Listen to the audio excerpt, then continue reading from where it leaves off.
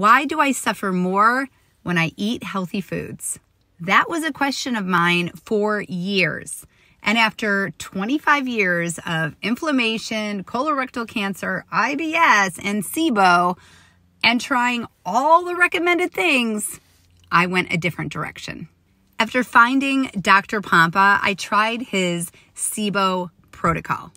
This included diet variation like two weeks on an only carnivore diet, monthly water fasting, and supplements. And guess what? Now I can eat whatever I want. This was five years ago. I followed that protocol and I healed my gut. I learned I have to fix the cell to get well. It's not as simple as a quick cleanse or a quick detox. And it's not that fiber isn't your friend, but fats and proteins you need more. It's not that fiber isn't your friend. Sometimes, for some of us, our gut has been compromised, and fats and proteins become our greatest.